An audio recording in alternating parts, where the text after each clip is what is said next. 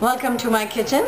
Today we are going to make cantaloupe salad which is really healthy, heart healthy and it's quick and easy to make also.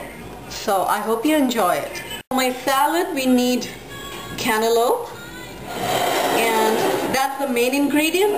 Then a little bit of iceberg lettuce, not a whole head of it. I just got this. Red seedless grapes. You can get green grapes too, it does not matter. And handful of like uh, cashew nuts and walnuts. And this is chaat masala, which you can get in Indian stores. I have now sliced my cantaloupe and I'm going to cut it like so. There's no right or wrong way to cut it. Whatever floats your boat, do it. I'm going to put them in. Now I'm going to put my grapes in. And the next step is putting in my iceberg lettuce. I've cleaned it, rinsed it, chopped it. What I'll do is I'll put the walnuts in, cashews in, in my handy chopper. I'm gonna kind of, I'm not gonna make a powder of it, but I'm gonna crumble it. Crumble it a little bit.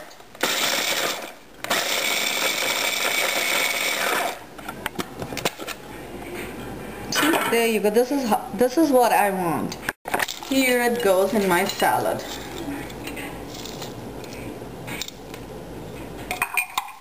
The last step is to put the masala in. This is seasoning, special kind of se seasoning which you can get in Indian stores. And this you can put as little or as much as you want. It's up to your taste. I put a heaped, heaped teaspoon of it. Because since it's a big bowl, so it needs to be seasoned. But that's your choice. The way you want to do it, you can do it. Like I keep on saying, there's no right way, there's no wrong way. Everyone has their own taste, their own preferences. This is the messiest job.